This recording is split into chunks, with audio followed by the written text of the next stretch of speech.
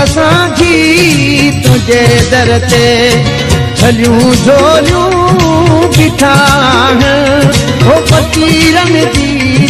पारतण साईं मिठा माण्हू ग़रीबनि जी तोखे पार